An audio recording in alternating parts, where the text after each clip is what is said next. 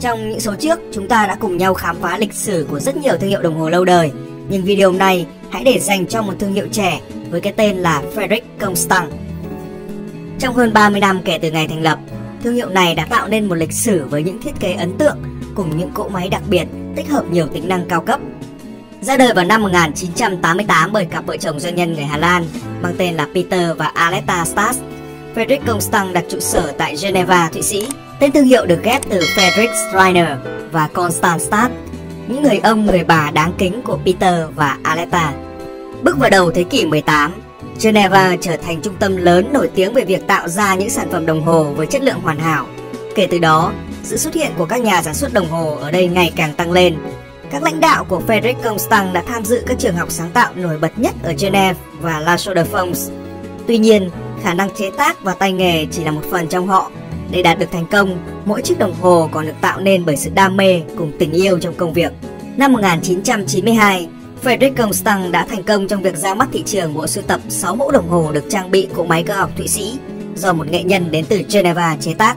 Năm 2001, những nhà sáng lập đã đưa ra phương án chuyển bộ cân bằng từ vị trí 12 giờ sang góc 6 giờ. Đây là một ý tưởng độc đáo nhưng không hề dễ dàng bởi ở thời điểm đó, đa phần các đồng hồ cơ học đều sử dụng máy ETA 2890 được sản xuất theo kiểu công nghiệp. Sau 3 năm miệt mài nghiên cứu, với sự giúp sức của rất nhiều chuyên gia và thợ làm đồng hồ nhiều kinh nghiệm, hãng đã cho ra mắt Frederick Constant Heartbeat Manufacturer đầu tiên trên thị trường. Phiên bản đồng hồ này cũng vinh dự nhận được giải thưởng Watch of the Year của tạp chí Horology vào năm 2005. Để mở rộng quy mô cũng như đa dạng trong danh mục sản phẩm của mình, Aletta và Peter Stark đã mua lại Alpina, nhà sản xuất đồng hồ thể thao Thụy Sĩ vào năm 2002.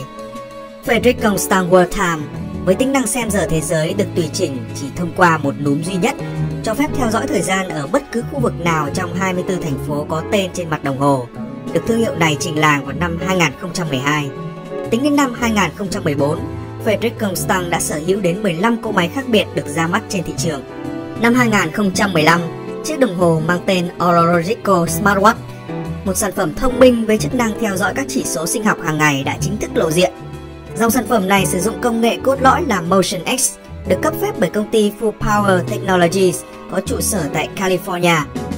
Frederick Constant chính thức được mua lại vào năm 2017 bởi tập đoàn Citizen Holding một trong những tập đoàn đồng hồ lớn nhất của Nhật Bản. Bắt đầu từ dấu mốc này, Frederick Constant có những bước phát triển mới trong sản xuất và đó là sự kết hợp giữa kỹ thuật chế tác Thụy Sĩ vốn có với quy trình sản xuất in-house của Nhật Bản. Hiện nay, thương hiệu Frederick Constant đã được ưa chuộng ở hầu hết các quốc gia trên thế giới, trong đó tập trung mạnh vào thị trường châu Âu, châu Á và Hoa Kỳ. Dù mới chỉ trải qua 31 năm trên thị trường đồng hồ, nhưng Frederick Constant đã gây ấn tượng với rất nhiều bộ sưu tập, có thể kể đến như Manufacture. đây là bộ sưu tập đáng giá nhất của Frederick Constant với vẻ đẹp thanh lịch, sang trọng, đầy cuốn hút dành cho những quý ông cổ điển hay những nam doanh nhân thành đạt. Bộ sưu tập là sự hội tụ đỉnh cao của Tourbillon, Heartbeat hay World Timer. Slimline, đúng với tên gọi của mình, bộ sưu tập này tôn vinh những thiết kế mỏng, có mặt số đơn giản, đậm chất lịch thiệp của những quý ngài châu Âu, biểu diễn lịch tuần trăng hay cả những trái tim Heartbeat đáng để khao khát.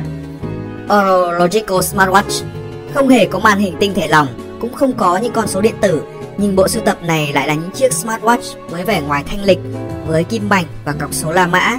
Đồng hồ áp dụng công nghệ Motion X cho phép chủ nhân dễ dàng theo dõi những sinh hoạt hàng ngày của mình, bao gồm cả hoạt động ban ngày và cả giấc ngủ ban đêm để xây dựng thời gian biểu và chế độ ăn uống, tập luyện hợp lý.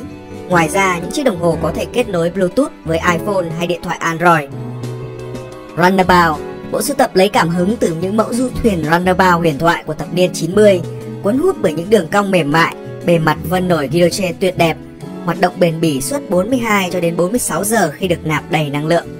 Vintage Rally Đây là bộ sưu tập có vẻ ngoài cá tính, mang hơi hướng của đồng hồ đua, thích hợp tham gia những cuộc đua tốc độ biểu lộ bằng những họa tiết guilloche Cloud Paris kinh điển. Đương nhiên là không thể thiếu vắng những cỗ máy bấm giờ chronograph. Ngày nay, với vai trò là một phần của tập đoàn Citizen, dù tính độc lập của thương hiệu có bị hạn chế đi, nhưng Frederick Constant vẫn giữ nguyên được chất lượng, kỹ thuật chế tác Thụy Sĩ vốn có của mình. Bên cạnh đó, họ kết hợp với những công nghệ tân tiến của Citizen, Frederick Constant lại càng gửi đến khách hàng của mình những cam kết chắc chắn hơn nữa. Bạn đã sẵn sàng chứng kiến sự phát triển của thương hiệu này hay chưa? Còn bây giờ, xin chào tạm biệt và hẹn gặp lại!